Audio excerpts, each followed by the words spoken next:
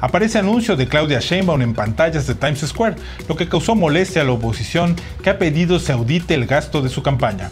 El empresario veracruzano Miguel Moreno Brizuela, quien mantiene un litigio con el SAT para no perder varias propiedades, aseguró que él pagó la publicidad con sus propios recursos y que fue un solo anuncio. Mientras tanto, diversos testigos aseguran que la han visto aparecer constantemente en las pantallas de la icónica zona neoyorquina, sin embargo, podría tratarse de una simple confusión.